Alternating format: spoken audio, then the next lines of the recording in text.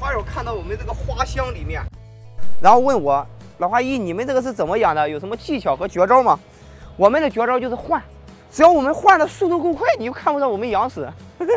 这种花箱呢，大家在种的时候呢，一定要了解。你像气温啊，一个过度啊，包括过晒啊，包括过度的缺水啊，都会出现花花的死亡。你只需要换就完了，这个没别的办法。我们也会养死，我们一年要换三到四次，春天一次，夏天一次，冬天一次，啊，一年三四回，基本上一个季节换一回。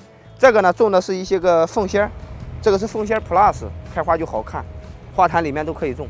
你们不要想着一个花坛里面说是种多少花养多少年，不太现实，死了就换，没别的高招。包括我们这种专业养殖的也是这样，你不换怎么看个新鲜？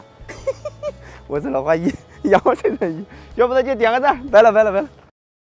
嗨，嘿嘿嘿嘿。